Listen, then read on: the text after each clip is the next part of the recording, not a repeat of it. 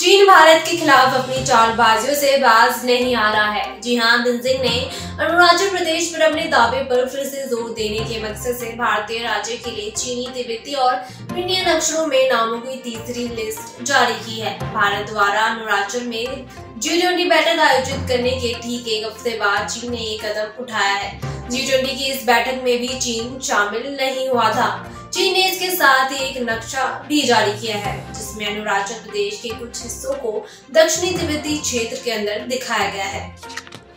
पाँच पहाड़ों और दो नदियों के भी नाम बदले गए हैं। जी हाँ, सरकार द्वारा संचालित ग्लोबल टाइम्स ने सोमवार को अपनी एक रिपोर्ट में कहा कि मंत्रालय ने 11 स्थानों के आधिकारिक नाम जारी किए। जिसमें दो भूमि क्षेत्र, दो आवासीय क्षेत्र, पाँच पर्वत चोटियाँ और दो नदियाँ सहित सटीक निर्देशांक भी दिए गए हैं। इसके अलावा स्थानों के नाम और उनके अधीनस्थ स्थानिक जिलों की श्रेणी सूचीबद्ध की गई है। ग्लोबल टाइम्स चीनी कम्युनिस्ट पार्टी के मुख्य पत्र पीपल्स डेली ग्रुप के पब्लिकेशन का हिस्सा है। इसने चीनी विशेषज्ञों के हवाले से कहा कि नामों की घोषणा एक वेद कदम है और भूगोलिक नामों को मानकृत करना चीन का प्रभु अधिकार है। चीनी मंत्रालय द्वारा अरुणाचल प्रदेश के लिए जारी मानकृत भौगोलिक नामों की ये तीसरी सूची है। अरुणाचल में छह स्थानों के मानकृत नामों की पहली सूची 2017 में जारी की गई थी और फिर 15 स्थानों की दूसरी सूची 2021 में जारी की गई थी।